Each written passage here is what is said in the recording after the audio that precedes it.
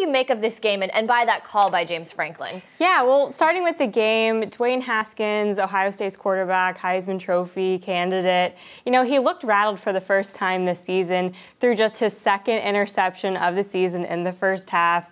Um, you know, got it together, obviously led the game winning drive um, in the fourth quarter to put Ohio State up by one. And then, of course, Penn State can't convert on fourth and five. And after the game, James Franklin took complete blame uh, for the call. Um, you know, they saw that Penn State's defense um, made a couple shifts, so they, they called two timeouts, and then they just couldn't execute on the play. And, um, you know, he was really honest in the post game press conference. He shouldered all the blame. He said, you know, this team has been was average, went to average to good to great, and right now they're stuck in great, and they are not an elite team like Ohio State. But he vowed to get this team to that level. Um, he was very strong in that statement. Yeah, a tough loss there for a Penn State team in a very competitive Big Ten and a very competitive national landscape. Is there a way now moving forward for the Nittany Lions to make the playoff? I think so. You know, all they all they got to do, see, right. it sounds easier easier said than done, um, is win the rest of their games. It's kind of like a Georgia Alabama situation last year,